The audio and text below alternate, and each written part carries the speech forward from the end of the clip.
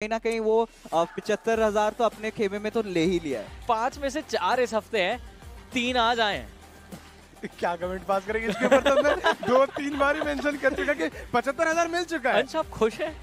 Yes बीस का average चल रहा है भाई। कब घुस ले तो कब घुस। बढ़िया। टीम गॉडलाइक लग रहा था कि कल के प्रदर्शन के बाद कि हाँ सेम चीज़ आज भी देखने को मिलेगा। बट वो कहीं ना कहीं मिसिंग था। बट आज ब्लाइंड ई स्पोर्ट्स की तरफ़ से भी यू नो वो एक प्रदर्शन देखने को मिल रहा था। एक पॉइंट पे जैडी ने काफ़ी अच्छा गेम प्ले आज निकाला था। निगमा गैलेक्सी भी कहीं ना कहीं थोड़ी बहुत कंसिस्टेंट थी। जी। And I have to say under the radar कहीं ना कहीं राइवलरी ई स्पोर्ट्स की तरफ़ से भी हमको स्लो एंड स्टेडी क्लाइम देखने को मिल रहा है। बट इस वक्त अगर बात करें हम लोग अपने लास्ट पेज पर आ रुके हैं लुक एट दैट ये काफ़ी हार्ट ब्रेकिंग रहने वाला है मार्कोस गेमिंग के प्लेयर्स के लिए और उनकी